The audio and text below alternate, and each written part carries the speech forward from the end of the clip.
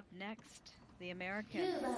Meryl Davis and Charlie White, the only Americans to ever win a world title in ice dancing. That was in 2011. That year, they defeated Canada's Tessa Virtue and Scott Moir. In the past few years, their real only rivals have, have been their training partners. So every time the Americans meet the Olympic champions, it's a real test for them and a real treat for the fans and for us to watch. Such a treat, Brenda. I agree with you. And here today, they will perform two selections from Notre Dame de Paris.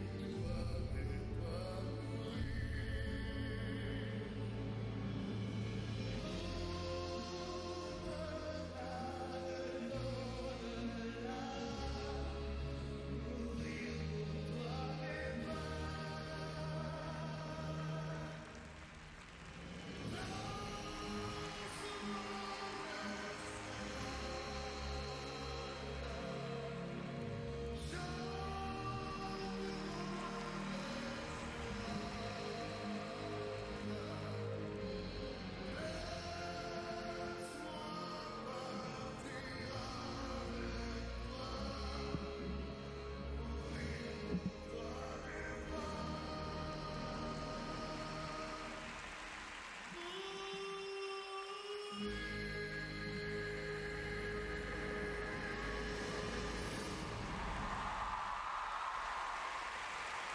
former world champions and Olympic silver medalists have the crowd here in Osaka on their feet. The last time we saw this team perform this free dance was at the Grand Prix final in December. What's what's the biggest difference that you've seen between now and then? Well, they have made some slight changes choreog- choreographically. There's the uh, American teammates cheering them on. I just watched them at the U.S. Championships where I thought that was their best performance of it. They worked it just a little bit more today. You can see their fatigue, but a big trip from their nationals here to Japan to compete. But what they do is they skate at, with absolute conviction, a totally free expression. Their score is coming up as well. The reigning world and Olympic champions from Canada trying to even the season score with their American rivals.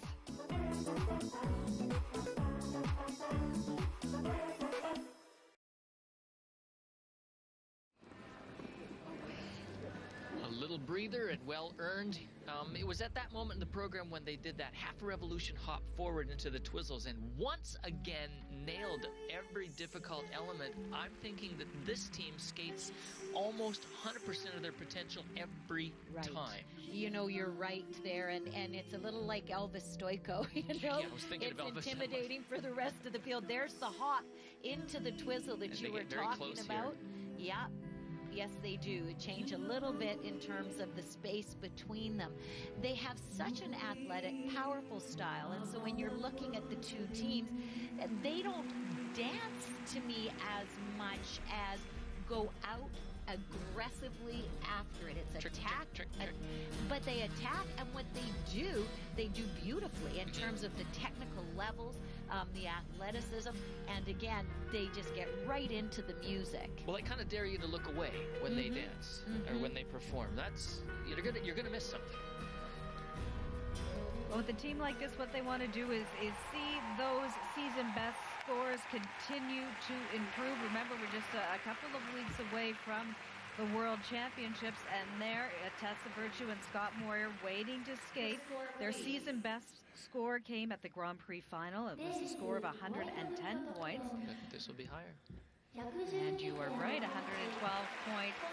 just a couple of points, but important that they see those scores grow over the course of the season. And you may think to yourself, you know, we're the better team. We've got this great project that we love. We're going to skate well, and we know that. But we can't make any mistakes because these guys never do. You cannot put a foot wrong, and you could see Marina Zueva. She was in the picture, checking out the marks out of the picture because